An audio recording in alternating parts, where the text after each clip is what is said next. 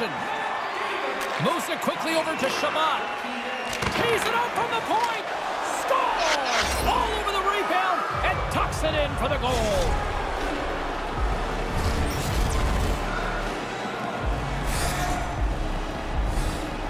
When the goalie is this sharp, it's kind of like watching a no-hitter in baseball. You wonder how long can it go on? He gets it almost to the end of the line before he gets beat.